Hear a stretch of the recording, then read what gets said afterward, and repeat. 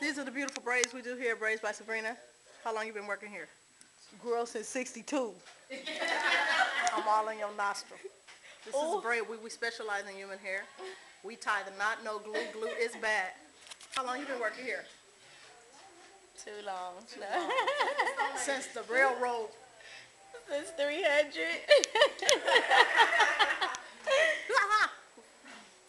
Happy New Year.